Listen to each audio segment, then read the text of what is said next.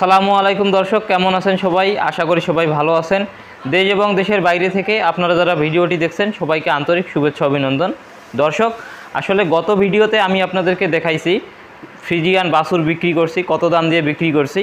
তো আমি আপনাদেরকে আবার বলছি, ফ্রিজিয়ান বাসুরটি আমি পঞ্চাশ হাজার টাকা দিয়ে বিক্রি করি এবং সাথে যে গাভী এবং বাসুর আমার নব্বই হাজার টাকা দিয়ে কেনা হয় এবং সেটি আমি বাসুরটা পঞ্চাশ হাজার টাকা দিয়ে বিক্রি করার পরে, এই গরুটা কিন্তু এখন আমার চল্লিশ হাজার টাকার ভিতরে আছে। তো দর্শক, আজকে আমি মূলত যে বিষয়ে ভিডিওতে আসছি সেটা হচ্ছে যে এই গরুর সম্পর্কে আপনারা অনেকেই জানতে চেয়েছেন যে আসলে গরুর কি অবস্থা এখন। তো আমি আপনাদেরকে আসলে এই গরুটার আজকে আপডেট জানাব।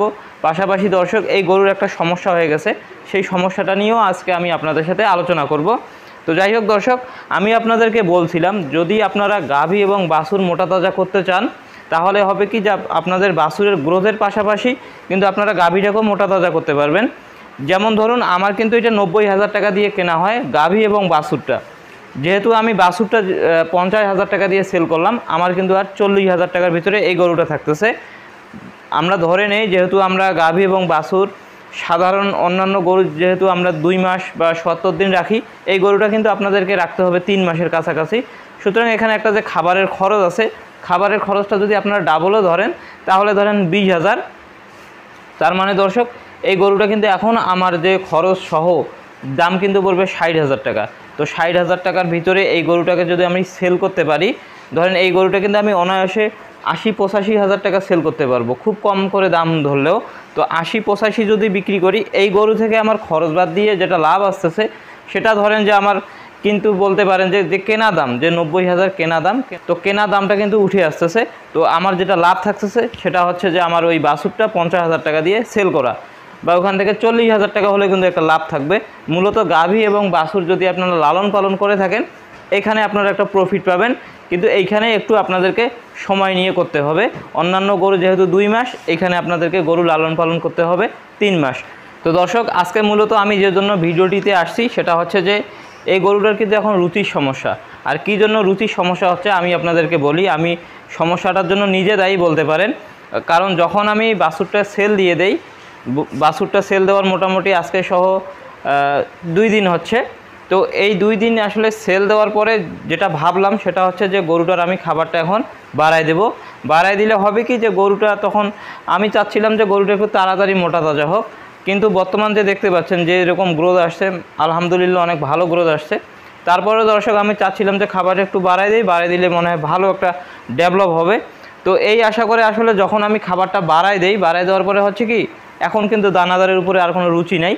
ম্যাক্সিমাম খামারিরেই কিন্তু এই সমস্যাটা হয়ে থাকে যে গরু দুই দিন খাচ্ছে বা তিন দিন, চার দিন খাচ্ছে, তারপরে খাচ্ছে না। আসলে আমরা মনে করি হয়তো বা এটা গরুর ত্রুটি বা গরু বা খাবারের দোষ, কিন্তু আসলে দর্শক, এই, এর জন্য কিন্তু সম্পূর্ণ আমরাই দায়ী বলতে পারেন। কারণ আমরা কিন্তু তখন খাবারটা বাড়াই দেই। বাড়াই দেওয়ার কারণে হয় কি, পরবর্তীতে আর খাবারটা নিতে পারে না। আর যার কারণে কিন্তু অরুচি চলে আসে। দেখতে পাচ্ছেন, পেটে কিন্তু কিছু নেই। গতকালকেও বিকেলের দিকে খাইনি আজকে সকালেও খাইনি এবং খড় যেটা আছে, খড়টা শুধু অল্প অল্প করে খাচ্ছে। তো এখন আমি আপনাদেরকে জানানোর চেষ্টা করব, বিশেষ করে আমার খামারে গরুর এই সকল সমস্যা হয়ে গেলে আমি যা করি, সেটি আজকে আমি আপনাদের সাথে শেয়ার করব। আশা করি আপনারা উপকৃত হবেন। বলতে পারেন যে আমার বাসায় ছোটো মোটো একটা ফার্মেসির মতোই আছে। এখানে আমি সবসময় ওষুধ রিজার্ভ করে রেখে দেই। কারণ আপনি যখন খামার করতে যাবেন, খামারে কিন্তু সবসময় আপনাদের ওষুধ লাগবে। যে সাধারণ যে গরুগুলো দেখতে পাচ্ছেন, এই গরুগুলোকে কিন্তু আমি সচরাচর কিন্তু দুইটা করে বায়োলক খাওয়াই। কিন্তু এখানে এই গরুটার কিন্তু লাইভ ওয়েট যথেষ্ট ভালো। তো বলতে পারেন যে মোটামুটি সব মিলে যদি হয়, গরুর ওয়েট কিন্তু চার মন বা একশো ষাট কেজি কিন্তু অনায়াসে হয়ে যাবে। সুতরাং এই সকল গরুকে আপনারা ঠিক কত পরিমাণে বা কয়টা বায়োলাক খাওয়াবেন? এর ভিতরে দর্শক, আপনারা অনেকেই আমাকে প্রশ্ন করছেন, আমি আপনাদের সেই প্রশ্নগুলোর অ্যান্সার দেওয়ার চেষ্টা করব। তো খাওয়ানোর নিয়মটা আপনারা জানতে চেয়েছেন। তো আসলে খাওয়ানোর নিয়মটা হচ্ছে যে আপনারা সকালে এবং বিকেলে, তার মানে দর্শক, বারো ঘণ্টা পর পর কিন্তু আপনারা এই ওষুধটা খাওয়াতে পারেন। আমি বায়োলাকের কথা বলতেছি, বায়োলাক বোলাস, এটা হচ্ছে স্কোয়ার কোম্পানির।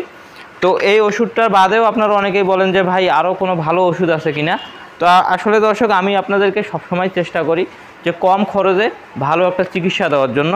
তো আশা করি আপনারা বুঝতে পারবেন বা এই বায়োলাক যারা গরুকে খাওয়াতে, খাওয়ান, আসলে তারা বুঝতে পারবেন যে আসলে এই ওষুধটার কার্যকারিতা কী রকম তারপরে দর্শক, আপনারা অনেকেই প্রশ্ন করছেন যে কখন খাওয়াবেন? তো এখানে কখন খাওয়াবেন বলতে বোঝাতে চেয়েছেন যে আসলে গরু কিছু খাবে, তারপরে আপনারা ট্যাবলেটটা খাওয়াবেন?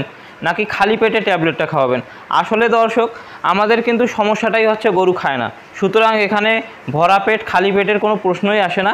সুতরাং যখন আপনারা এই সমস্যাটা বুঝতে পারবেন, ঠিক তখনই খাওয়াই দিবেন।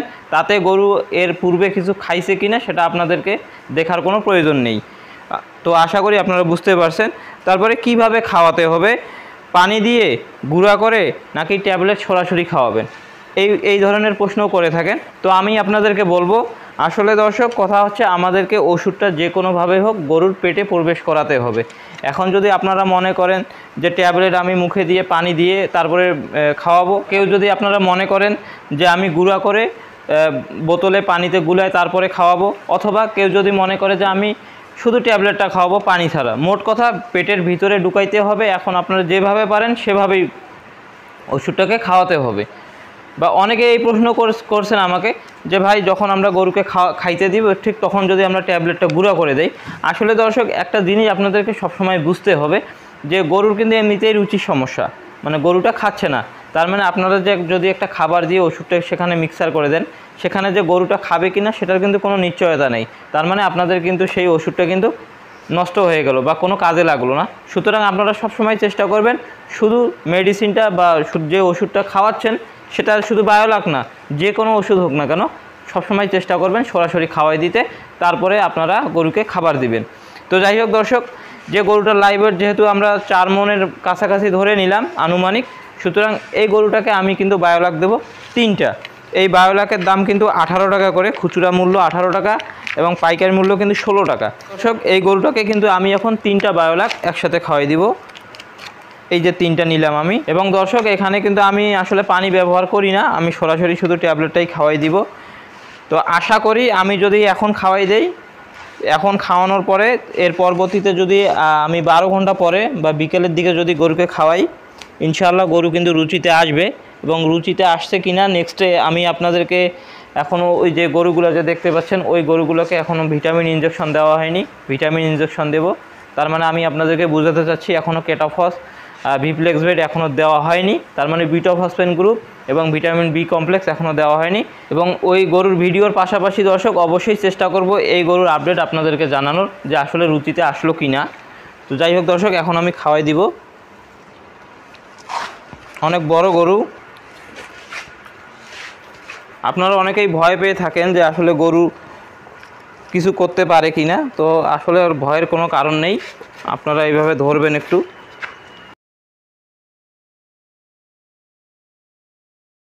বা এমনিতেই যদি আপনারা শুকনো অবস্থায় খাওয়াতে পারেন, সবচেয়ে ভালো হয়। তো যাই হোক দর্শক, আজকের ভিডিওটি এই পর্যন্তই। যদি ভালো লেগে থাকে, অবশ্যই সাবস্ক্রাইব করবেন, শেয়ার করবেন। ধন্যবাদ সবাইকে। আসসালামু আলাইকুম।